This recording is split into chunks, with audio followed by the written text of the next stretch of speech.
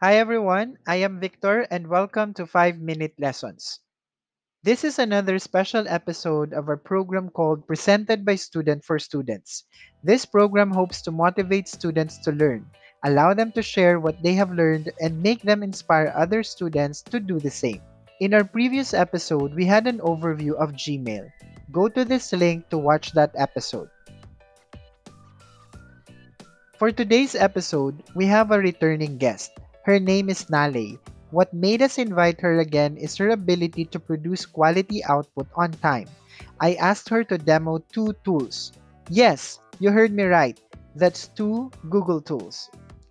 Today, she is going to do basic tasks in Google Keep and she is also going to demonstrate commonly used features of Google Tasks. Nahlei, please start.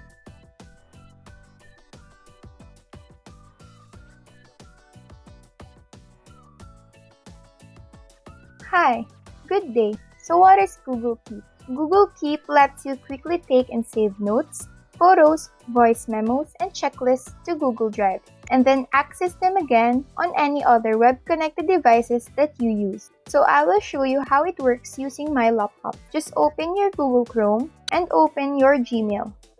Click the account that you want to use with Google Keep. On the right side of the screen, you can see here three buttons and then just click Google Keep. So there are a lot of things that you can do in Google Keep. So if you want a bigger view of Google Keep, just click this button here on the upper right side to open it on a new tab. This is what it looks like on a bigger screen. You can add a note and add a title and description too. There are also multiple buttons that you can use here. You can click this button for Google to remind you about this note. You can also pick a date and time and also a place.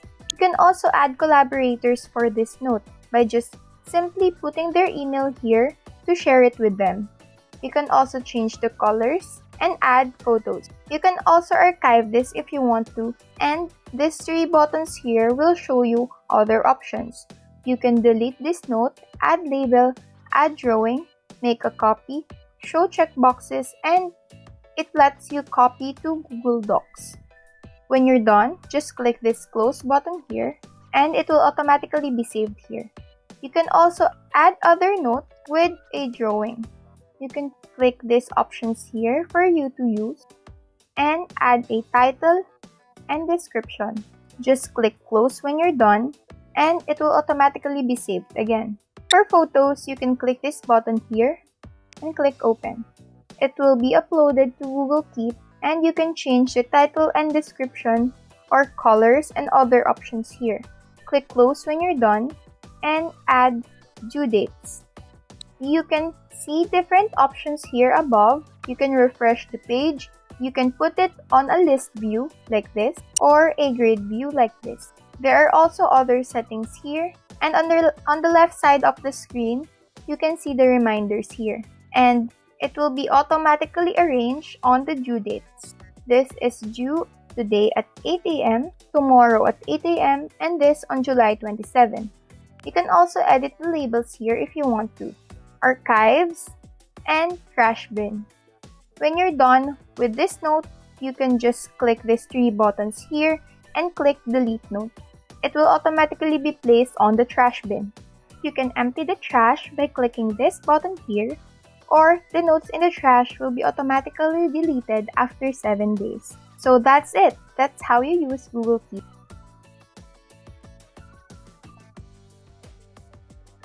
So first, what is Google Task? Google Task lets you create a to-do list within your desktop Gmail or the Google Task app. When you add a task, you can integrate it into your Gmail calendar and add details or subtasks. In my case, I will be using my laptop to show you how it works. So first, go to your Google Chrome. Then, open your Gmail. Then choose the account that you want to use with Google Tasks. Then, on the right side of the screen, you can see here three buttons, which is the Google Calendar, Google Keep, and the Google Task. Just click it and click Get Started. As you can see, there are no tasks available. So to add a task, just click this button here and name your task. You can also click this pen button here to add a due date. You can also add details to your task or a short description. You can also add a subtask if you want to, but it is totally optional. When you're done, you can just click this button here and it will automatically be saved as your task. You can add as many tasks as you want or need. When you're done adding your tasks, you can sort it by clicking these three dots here and sort it by the date. So as you can see, the due dates will be shown above. So this task is due on July 21, while the other task has no due date. You can add their dates by clicking this pen button here. You can also set the time and that's it. When you're done with the task, you can just click this check button here to mark it as complete. To delete a task, you can just click this button here and click this trash button here above to delete a task. When you misclicked it, you can just click undo for it to be showed above here again. So if you want to add more tasks, you can do so. And it will automatically be sorted based on their due dates. You can view your completed task on the lower right corner and delete it at the same time. You can also create a new list by clicking this button here and adding the title of your list. And just repeat the process to add tasks.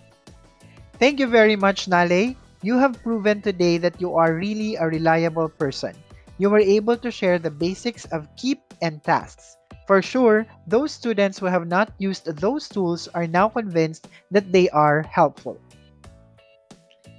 Before we end this tutorial, I would also like to share two tips on using Google Tasks. Here's tip number one.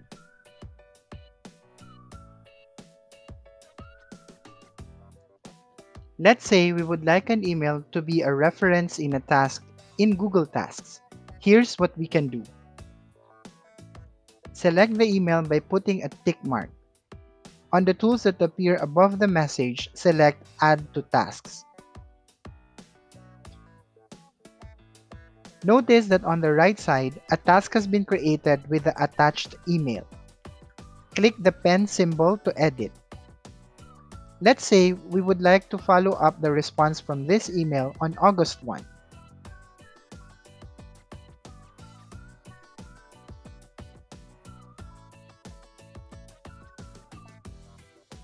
and the time is at 8 a.m. Click OK. Once done, simply click the back symbol. Now, you have added a task in your Google Tasks. That's simple, right? It just proves that we can create Google Tasks from Gmail.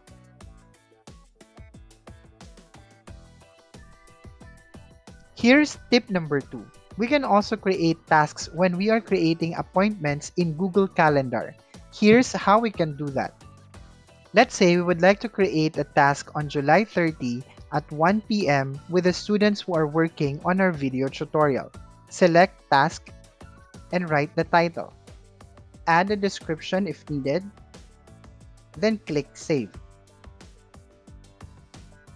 On the right side of the screen, click the task symbol. Notice that it is already included in our tasks. Here, we have proven that Google Tasks is integrated with Google Calendar. I hope those tips will help you on using Google Tasks. I would like to thank Nahlei again for joining me today. I hope to see you again as our guest in our next episode. For questions or any feedback, kindly write on the comment section below. Please like and share this video so others will know how useful Google Tasks and Google Keep are.